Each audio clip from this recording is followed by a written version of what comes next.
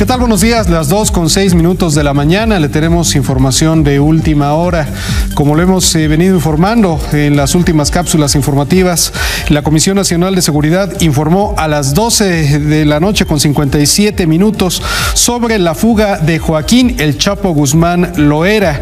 En un comunicado informó que fue visto por última vez a las 20 horas con 52 minutos del sábado en el sistema permanente de videovigilancia del Penal Federal del Altiplano 1. Textualmente el comunicado dice que se observó que Joaquín Guzmán Loera se aproximó al área de la regadera dentro de la estancia 20 del pasillo 2, donde habitualmente, además de su aseo personal, lavan sus enseres.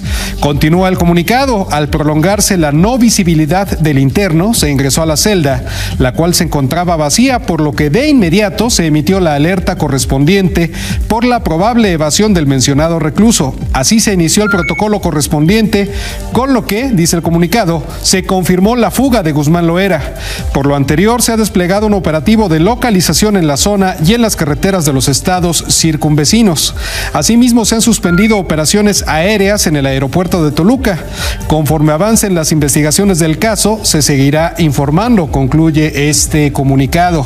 Le comento que la Comisión Nacional de Seguridad ha adelantado que posiblemente a las 7 de la mañana, alrededor de las 7 de la mañana, habrá una conferencia de prensa encabezada por su titular, Monte Alejandro Rubido García, en la cual se darán más pormenores sobre este particular. Extraoficialmente se ha dado a conocer que Joaquín Guzmán pudo haberse fugado por un túnel de varios kilómetros que llegaba hasta el baño, precisamente hasta la regadera donde fue visto por última vez por este sistema permanente de videovigilancia del Penal Federal del Altiplano 1.